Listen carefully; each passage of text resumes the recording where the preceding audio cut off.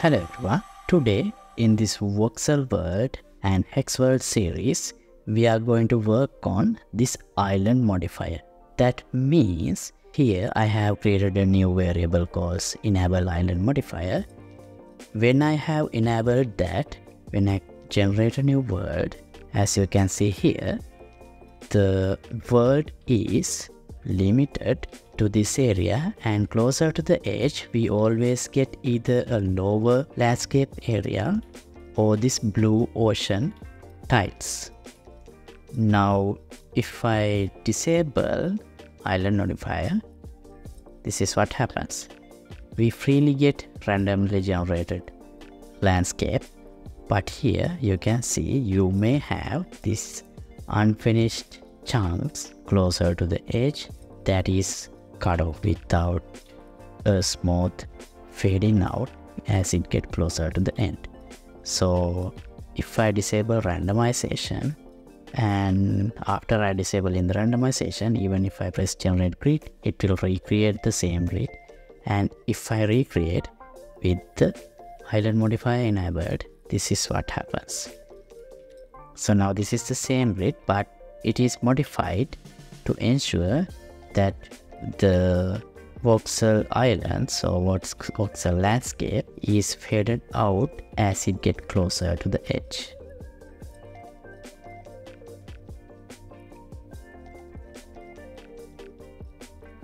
At this. So it ensures always we have islands and there are no unfinished chunks closer to the edges. And here we have these hexagonal shapes. The world is created with hexagonal shapes. And in the other map, we have a cubic world here. The world is generated with cubes. And for this also, the same logic can be applied. Here we have the island modifier enabled. Now when I press generate island, always we get islands. And as always, you can use these parameters to control the world shape. And if you disable the island modifier, you can have things like this. Alright, so that's what we are going to work on today. And before we get started, I'd like to remind you that you can download the project files of this project and all other thousands of projects that I have done in my channel. To the date, there are over 1700 videos and for each video, project file is accessible in the Patreon page once you become a member. And let's get back to the work. Right, so this is what we have at the moment. We can use this generate grid button to create a random voxel world like this. But the problem here is, as you can see, in these corners, in the edges of the world, we have this uh, unfinished chunk of world. This is like a half of a mountain. So we want to avoid that. So we need to have some random islands only. So in the edges or closer to the edges, always there should be a sea perhaps. By sea I mean these blue tiles, these water tiles. So we need to smoothly curve down or fade the height of these voxels as they get closer to the edge. Okay, so to achieve that, let open the blueprint. And here in the event graph, so this is hex world, which is a child class of voxel world blueprint.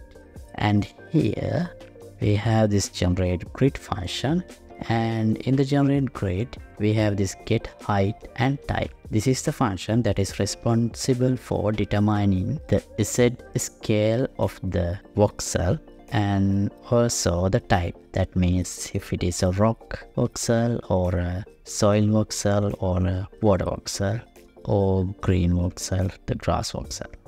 Let me collapse this part here. Xy here so then this looks cleaner. Okay. Now if we consider this world we have I'm going to come up with a logic to fade out the height closer to the edges. So consider this, this as x-axis or whatever the axis. And if we consider this axis represents an angle that is changing from 0 to 108 then this is in degrees. Then sine value of this degree value would be like this.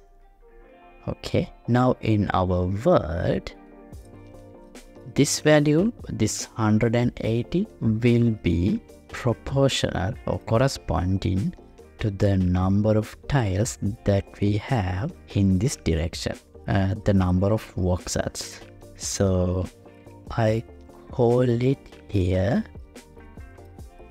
x cell count. Okay.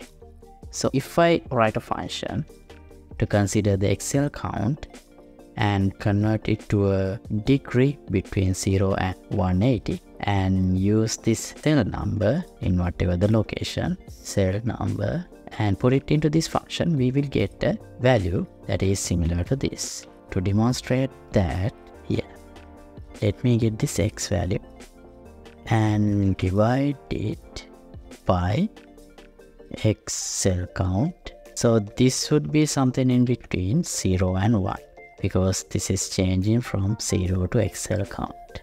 And then if I here let me put a sine in degrees. So this I think in the float division. Otherwise I don't think we will get the correct values okay. Now this is a float but this is something in between 0 and 1 so if I multiply this by 180 we can get a value between 0 and 180 and if I put it into the sine degree function instead of this value but if I use this value let's say multiplied by some this mountain height and put it here compile. Now you should see let me regenerate. Oh. Houston, we have a problem. that's too much. I think that's because of this I used this mountain height let me break this and use something like 30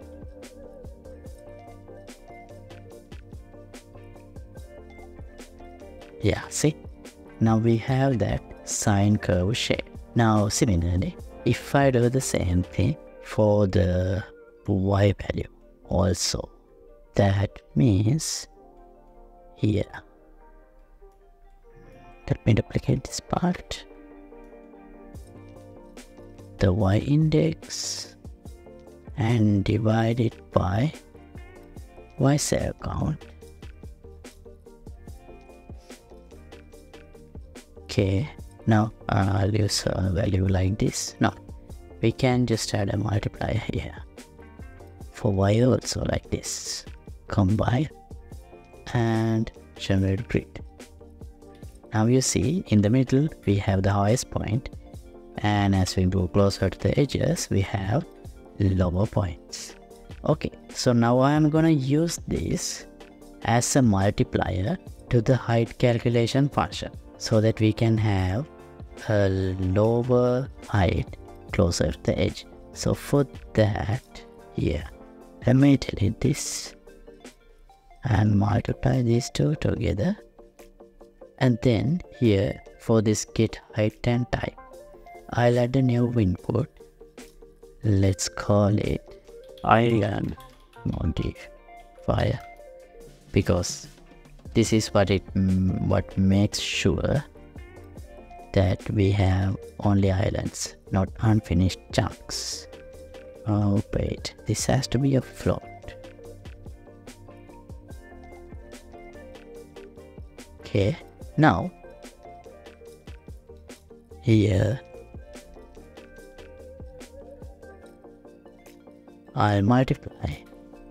This value with the island modifier and use it for C. Now if I generate, this is not, I sorry, forgot to rename this.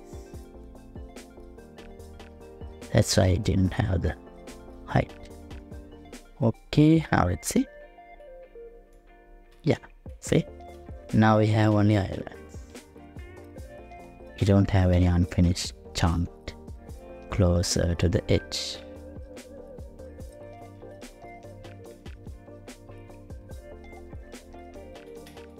Okay. Nice. And also let's have a variable to enable or disable that. So enable I want I'll make it visible okay. Now I'll make elapse this to a function I can't and I'll make it a pure function and this is x this is y. It should be interchanged. Okay now inside here if island modifier is enabled we return this value. Otherwise we return 1 so that means no island modifier they just return whatever the height values we have.